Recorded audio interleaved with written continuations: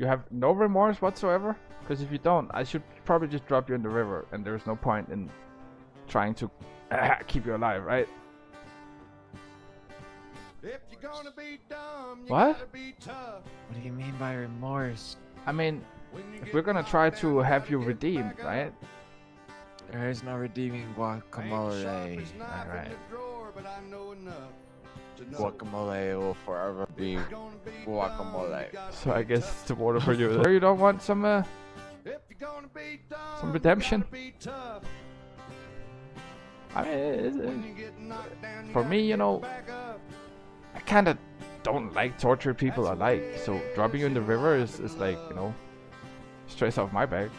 If you have, like, Good mobility in your legs and ankles and I don't fucking know I'm dead. I ain't the sharpest knife in the Mm. drawer, but I know enough to know. What kind of fucking question is that? gonna be dumb, you gotta I'm just be asking tough. like are you are you do you feel like If you're gonna be dumb, you gotta be tough. man I don't want to do this. You, You see this gold chain, bro. How much up. you think I'm getting paid? That's the way it is in life and love. I guess we're gonna If you're gonna be dumb, Gonna have to do it that way, buddy. it's fine. If you're gonna be dumb, you gotta be tough. Then don't jump. When you get knocked down, you gotta get back up. oh my this is the most That's the way it is. no.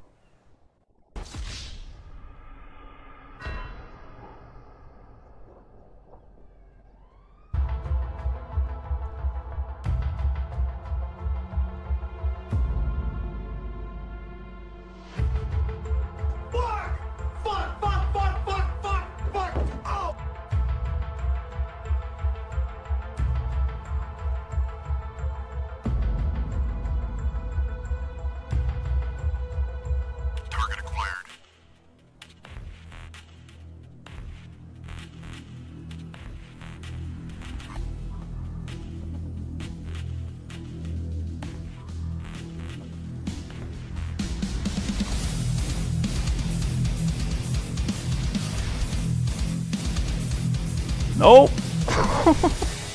Just put it away. Put the gun away. Put the fucking gun away. Just put it away. Hi, this is me. You're probably wondering how I got here. Man, he's trying to shoot me. He's trying to fucking shoot me. Stop him.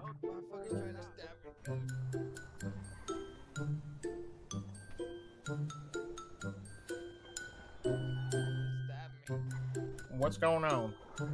Fucking hell. I was walking out the hospital, right? I see this guy running up, taking a car from a local, start beating him up. So I walk up to him and say, stop it. He just pulls out a gun and starts shooting at me. I shouted at him a couple times. Fucking put it away. He started shooting.